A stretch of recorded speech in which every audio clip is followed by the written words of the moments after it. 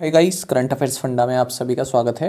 मैं हूँ आपके साथ अभिषेक शर्मा और आज के इस वीडियो सेशन में हम 24 फरवरी तक के सभी इंपॉर्टेंट करंट अफेयर्स कवर करने वाले हैं। हमेशा की तरह आप इस वीडियो को अंत तक ज़रूर देखिएगा। आज भी आपको काफ़ी कुछ जानने के लिए मिलेगा। साथ ही गाइस इस सेशन को शुरू करने से पहले आप सभी को बताना चाहूँगा, यदि आप हमारे daily current affairs PDF weekly PDF और मंथली पीडीएफ चाहते हैं तो इस वीडियो के फ़र्स्ट कमेंट में या फिर वीडियो के डिस्क्रिप्शन में दिए गए लिंक पर क्लिक करके पा सकते हैं।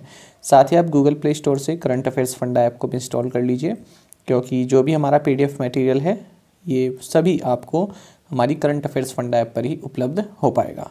तो ये सभी कंटेंट है जो हम आपको पीडीएफ फॉर्मेट में प्रोवाइड कराते हैं। यदि आप हमारा पीडीएफ कोर्स बाय करना चाहते हैं तो इस वीडियो के डिस्क्रिप्शन में आपको लिंक मिल जाएगा। और कोई भी अगर आपका डाउट हमारे पीडीएफ कोर्स से संबंधित तो आप हमें कमेंट बॉक्स में ज़रूर लिखिएगा। तो चलिए फिर करते हैं शुरुआत इस वीडियो सेशन की। सबसे पहले 23 फरवरी को पढ़े गए करंट अफेयर्स क्विकली रिवाइज कर लेते हैं।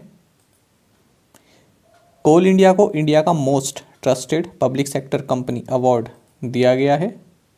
यदि हम 2022 विंटर ओलंपिक गेम्स की बात करें, जो कि चाइना में हुए हैं इसमें नॉर्वे ने सबसे ज़्यादा मेडल्स जीते हैं। वर्ल्ड थिंकिंग डे, ये हर साल 22 फरवरी को मनाया जाता है। इंडिया का first biosafety level three containment mobile laboratory, इसको नासिक, महाराष्ट्र में इनोग्रेट किया गया। ओमान और इंडिया, इन दोनों ही देशों के जो एयर फोर्सेज हैं, इन्होंने एयरफोर्स स्टेशन जोधपुर में ईस्टर्न ब्रिज सिक्स, इस नाम की एक एक्सरसाइज में पार्टिसिपेट किया।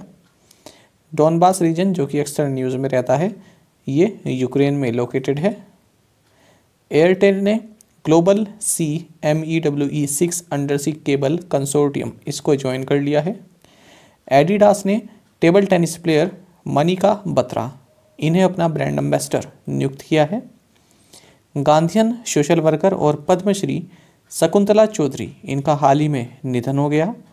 उमा दास गुप्ता ने बुक लिखी है, जिसका नाम है a history of Sriniketan Rabindranath Tagore's pioneering work in rural construction Asha Parikh को Dada Saheb Phalke international film festival awards 2022 में outstanding contribution to film industry award से सम्मानित किया गया है।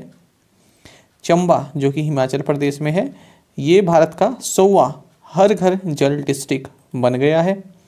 इंडिया संयुक्त अरब अमीरात में आईआईटी इस्टेब्लिश करेगा और सेंट्रल गवर्नमेंट ने 2022-23 से 2025-26 तक के पीरियड के लिए interoperable criminal justice system ICJS project को अप्रूव कर दिया है। चलिए अब देखते हैं 24 फरवरी तक के सभी important current affairs SIDBI launched waste to wealth creation programme in which state पूछ रहे हैं कि सिडबी ने किस राज्य में वेल्थ टू वेस्ट क्रिएशन कार्यक्रम शुरू किया है? ऑप्शंस आपके सामने हैं और सही आंसर ऑप्शन सी है वेस्ट बंगाल तो वेस्ट बंगाल के सुंदरबंस में महिलाओं के लिए सिडबी यानी कि small industries development bank of India इसने waste to wealth creation programme launch किया है। एक फैक्ट मैं आपको बता दूँ, मैं यहाँ पर नोट यहाँ पर लिखना भूल गया। ये अपनी तरफ़ से ही मैं बता रहा हूँ। ये जो सुंदरबन है, इसको साइक्लोन कैपिटल ऑफ़ इंडिया भी कहते हैं। तो ये फैक्ट भी आप नोट डाउन कर लीजिए, जो आईएमडी है भारत का, ठीक है? तो इसने बताया कि सुंदरबन को इसने डिक्लेयर किया हुआ है साइक्लोन कैपिटल ऑफ़ इंडिया ये चीज़ आप नोट डाउन ज़रूर कर लीजिएगा। आपको बता दें waste to wealth creation programme इसमें क्या होगा? जो महिलाएँ हैं, वो जो फ़िश स्केल्स होती हैं, यानी कि स्किन के ऊपर का जो पार्ट होता है ना फ़िश के, उसको स्केल्स बोलते हैं। तो इनसे ऑर्नामेंट्स और सो पीसेस बनाएँगी, फिर उसको मार्केट में जो है सप्लाई किया जाएगा। आपको बता दें, ये सिडबी के मिशन स्वावलंबन, इस एक मिशन का पार्ट है। और बाकी आपको जानना चाहिए, अगर हम सिडबी की बात करें small industry development bank of India की तो इसको सेकेंड अप्रैल 1990 में सेटअप किया गया था। और फ़िलहाल इसके chairman and managing director Shiv Subramaniam Raman है और इसका हेडक्वार्टर्स लखनऊ, उत्तर प्रदेश में है। आगे बढ़ते हैं। The Jammu and Kashmir government signed a pact with which country for the transformation of the sheep farming sector. पूछ रहे हैं कि भेड़ पालन क्षेत्र के ट्रांसफॉर्मेशन के लिए जम्मू और कश्मीर सरकार ने किस देश के साथ एक समझौते पर हस्ताक्षर किए हैं? ऑप्शंस आपके सामने हैं और सही आंसर ऑप्शन डी रहेगा न्यूजीलैंड। देखिए, आपको बता दूँ, जो न्यूजीलैंड है और ऑस्ट्रेलिया है, और अगर आप इधर ईस्ट इस, माफ़ कीजिएगा, इधर अगर आप वेस्ट में चले जाएँ तो डेनमार्क हो गया, फिनलैंड हो गया, ये सभी कंट्रीज़ जो है अपने शीप रेयरिंग के लिए जानी जाती हैं, शीप फ़ार्मिंग के लिए जानी जाती हैं। तो इसीलिए जम्मू एंड कश्मीर में जो शीप सेक्टर है, इसको और अच्छा करने के लिए यहाँ पर न्यूजीलैंड से मदद ली जाएगी, इसीलिए इसके साथ एक पैक्ट साइन किया गया है। बाकी आपको जानना चाहिए, हाल ही में हमने पढ़ा था कि जम्मू एंड कश्मीर की चिनाब वैली में कंचौथ फेस्टिवल, इसको सेलिब्रेट किया गया है। बाकी ये स्क्रीनशॉट मैंने अपनी जो मंथली पीडीएफ है, उससे लिया है। इसमें जम्मू एंड कश्मीर के बारे में आपको जानकारी जाननी चाहिए कि यूनियन टेरिटरी इकतीस अक्टूबर 2019 को ये बना है। कैपिटल श्रीनगर है समर और जम्मू, इसकी विंटर कैपिटल है। लेफ्टिनेंट गवर्नर मनोज सिन्हा है। और स्ट्रेटेजी की अगर हम बात करें तो ये सब जान लीजिए आप शेखुल आलम एयरपोर्ट यहाँ पर है डल लेक है वोलर लेक है आंचल लेक है दचिगम नेशनल पार्क है किश्तवाड़ नेशनल पार्क है सलीम अली नेशनल पार्क और काजीनाग नेशनल पार्क ये सभी जम्मू एंड कश्मीर में है। चलिए आगे बढ़ते हैं। Which organisation launched quit tobacco app किस संगठन ने क्विट टोबैको ऐप लॉन्च किया है? सही आंसर ऑप्शन डी है वर्ल्ड हेल्थ ऑर्गेनाइजेशन।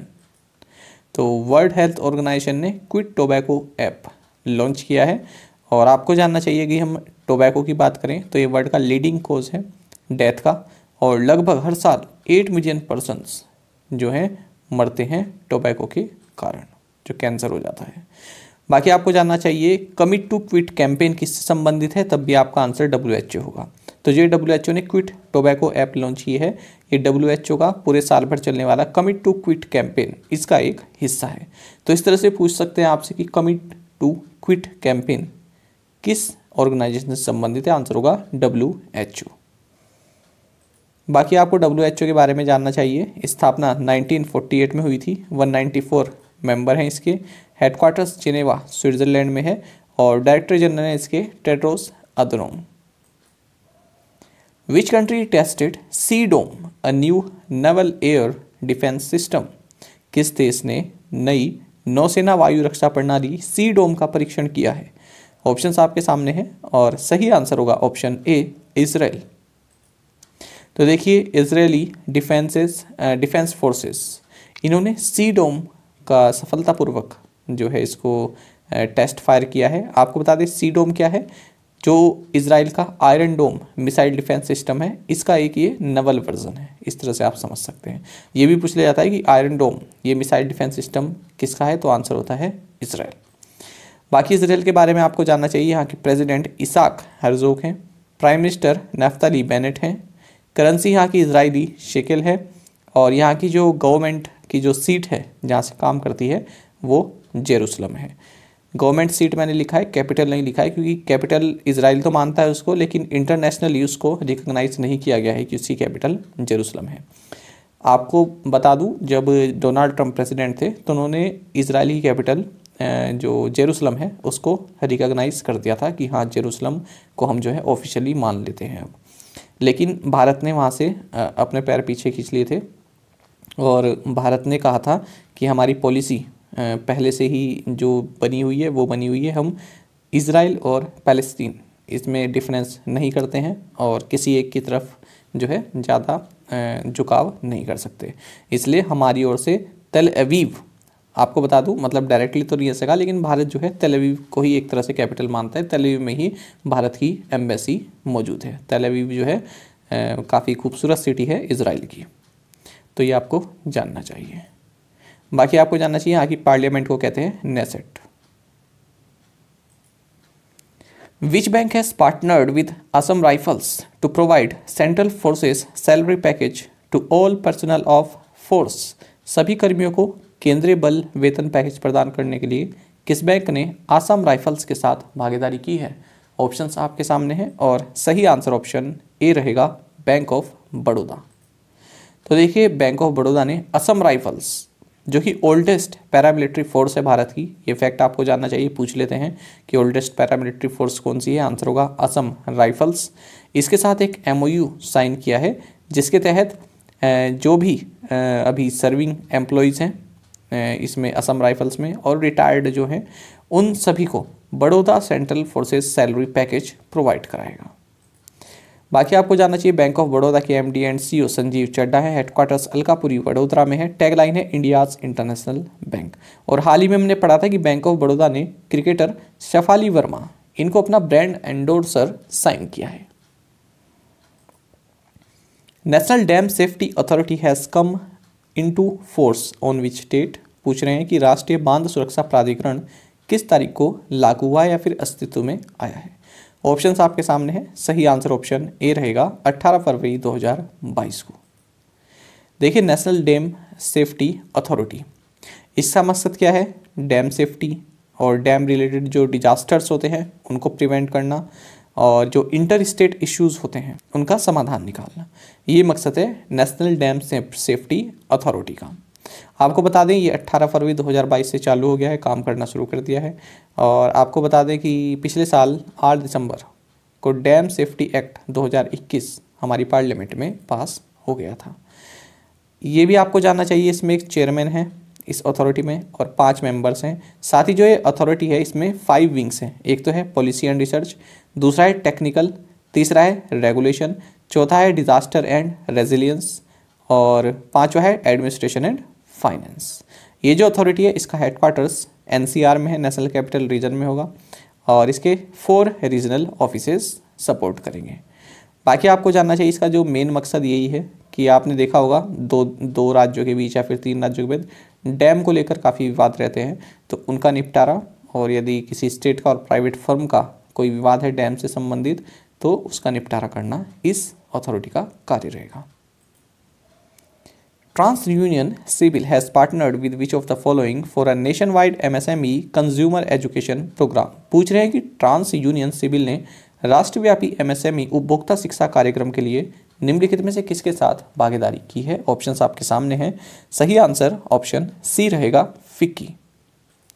तो देखिए ट्रांस यूनियन सिविल इसने federation of Indian chambers of commerce and industry यानी कि फिक्की, इसकी फुल फॉर्म आपको याद होनी चाहिए। देखिए, फिक्की हो गया सिडबी हो गया, सेबी हो गया, और ट्राइफेड हो गया, और नेफेड हो गया, असोचाम, नास्कोम, इन सभी की फुल फॉर्म आपको याद होनी ही चाहिए।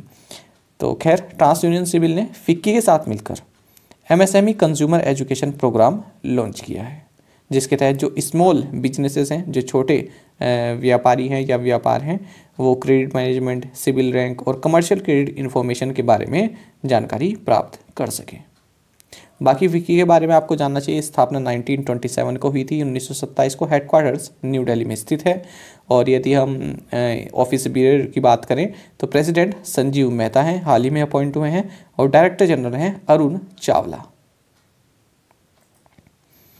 Which city in India has highest number of dollar millionaire households according to the Hurun India wealth report 2021 पूछ रहे हैं कि होरन इंडिया वेल्थ रिपोर्ट 2021 के अनुसार भारत के किस शहर में सबसे अधिक डॉलर मिलियनियर परिवार हैं? ऑप्शंस आपके सामने हैं और सही आंसर ऑप्शन सी है मुंबई। जानेंगे इस क्वेश्चन के बारे में। देखिए होरून इंडिया वेल्थ रिपोर्ट 2021 इसको जो है जारी किया गया है। और इसी के साथ Hurun India luxury consumer survey 2021 इसको भी जारी किया गया है। तो दोनों ही रिपोर्ट का ये सेकेंड एडिशन है। जानेंगे अब इसमें क्या क्या दिया गया है। देखिए होरन रिसर्च इंस्टीट्यूट ने 350 इंडियन मिलियनियर्स पर ये सर्वे किया है, जिनकी वेल्थ जो है वन मिलियन यूएस डॉलर यानी कि सात करोड़ रुपए के लगभग उनकी वेल्थ है। ऐसे 350 इंडियन मिलियनियर्स पर यह सर्वे किया गया है। तो इन्होंने बताया है कि 350 इंडियन मिलियनियर्स में से 42 जो है बिल्कुल सुपर रीच है। यानी कि 12 परसेंट बिल्कुल सुपर रीच हैं और इनकी वेल्थ लगभग 100 करोड़ के आसपास है। और जो एवरेज वेल्थ है, इन 350 इंडियन मिलियनर्स की, वो 6.7 मिलियन यूएस डॉलर है और एवरेज इनकी 35 ईयर्स है। साथ ही इस रिपोर्ट में ये भी बताया गया है कि भारत में जो डॉलर मिलियनियर हाउस होल्ड्स हैं, भारत में ये पिछले साल की तुलना में 11 प्रतिशत की बढ़ोतरी में देखने के लिए मिली है और four lakh fifty eight thousand households जो हैं, भारत में ऐसे हैं जो डॉलर मिलियनियर हाउस होल्ड्स हैं। और साथ ही ये भी कहा गया कि इनकी जो नेटवर्थ है, वो कम से कम सात करोड़ रुपए तो है ही। बाकी आपको जानना चाहिए, इसमें यही बताया कि जो Indian dollar millionaire households हैं ये अगले पाँच साल में थर्टी परसेंट इनक्रीज कर जाएँगे और 2026 तक ये सिक्स लाख हाउस होल्ड्स हो जाएँगे ऐसा कहा इस रिपोर्ट में। साथ ही इस रिपोर्ट में भी कहा है कि यदि हम आ, इंडिया की मिलियनियर कैपिटल की बात करें यहाँ पर सबसे ज़्यादा मिलियनियर हैं ये है आपकी मुंबई। तो यहाँ पर बीस हज़ार तीन सौ मिलियनियर्स हैं मिलियनियर्स हाउस होल्ड्स हैं। उसके बाद दिल्ली है फिर उसके बाद तीसरे नंबर पर कोलकाता है। साथ ही इन्होंने ये भी बताया कि thirty six percent Indian millionaires e wallets का यूज़ करते हैं, यानी कि यूपीआई का यूज़ करते हैं। अगर हम पेमेंट मेथड की बात करें, जबकि पिछले साल 18 परसेंट यूज़ करते थे। साथ ही इसमें यह भी कहा है कि 66 परसेंट जो मिलियनियर्स हैं भारत में, वे अपनी पर्सनल और प्रोफेशनल लाइफ को लेकर काफ़ी खुश हैं। जबकि 2020 में 72 परसेंट था। तो यहाँ पर थोड़ी गिरावट देखने को मिली है। साथ ही यदि हम बात करें जो इंडियन मिलियनियर्स हैं, वो अपने बच्चों को किस देश में पढ़ाना चाहते हैं तो उसमें नंबर वन पर है यूएस से तो ज़्यादातर जो भारत में मिलियनियर्स हैं, वो चाहते हैं उनके बच्चे यूएसए में पढ़े और भेजते भी यूएसए में ही हैं। दूसरे नंबर पर जो उनकी लोकेशन है प्रीफर्ड लोकेशन ये यूके है, फिर है न्यूजीलैंड फिर Germany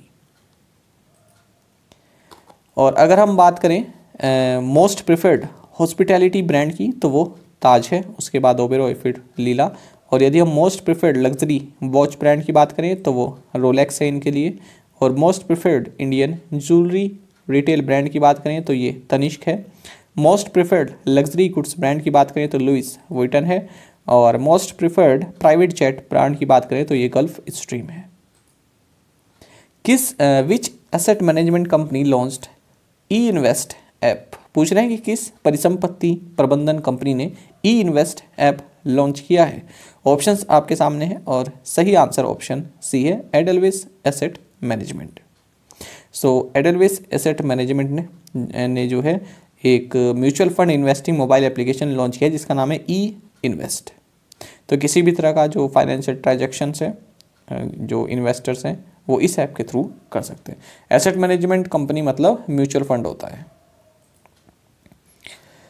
Who is the author of the book titled dignity in a digital age making tech work for all of us तो इस पुस्तक के लेखक कौन है? ऑप्शन आपके सामने हैं।